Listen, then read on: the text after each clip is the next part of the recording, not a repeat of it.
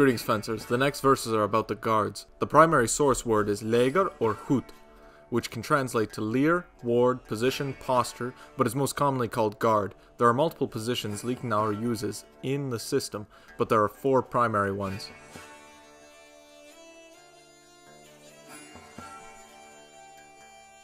He's quite clear about us not using others, but why is that, especially when he brings up other guards to use?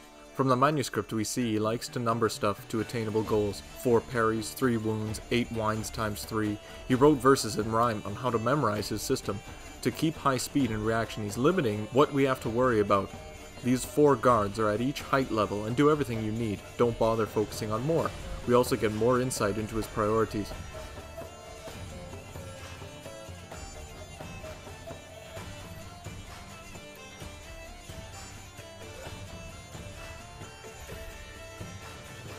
It's better to attack and use the device's cuts and techniques than to statically wait in a guard. If we wait in a guard, then we're giving them a chance to take the before because we're waiting, and if we're in a guard, they know the most direct attacks are from that position.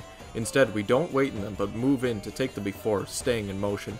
Wherever our sword happens to be when we do something is the guard we go through. Joachim Meyer gives even more insight into this style of movement. Not going in guards, but staying mobile. Some interpret it as moving from guard to guard, but I personally see it more like a boxer, not settling and being in motion.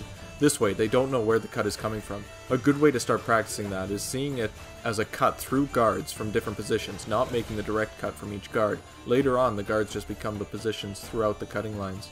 At times, it is good to ground yourself with a guard, but understand the reasons for doing it and the pros and cons.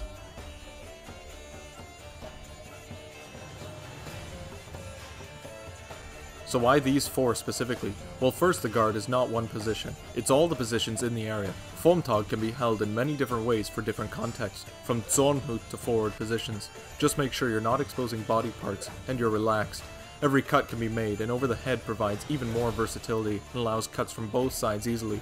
But the important part is that you go through Vom Tag all the time in combat. Whenever you cut and strike around, you go through Vom Tag. Ox can be held in retracted positions for comfortability and more momentum in a thrust, but can be moved for all different contexts. Straightening the arm in any direction is the best way to parry a cut depending where it's aiming, and it can easily point to the ground into hanging in order to parry the whole body.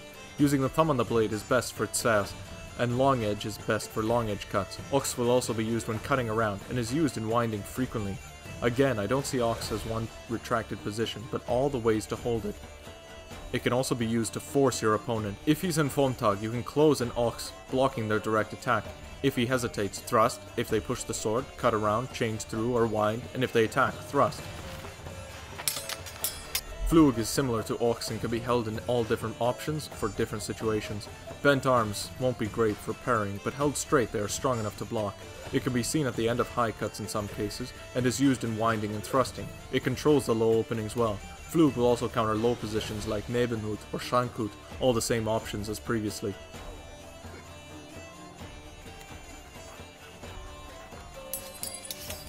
Alber can be done on the side or in the center. It will be the very bottom of descending cuts and will be the transition point.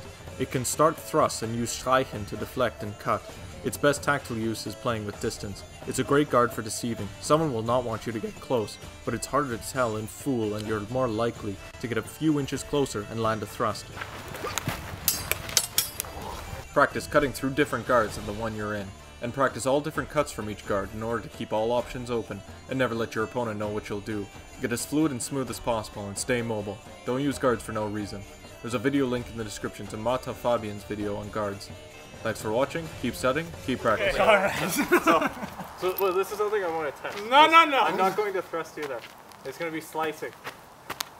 That's even worse! It's going to be slicing on the inside of the thigh. Woo!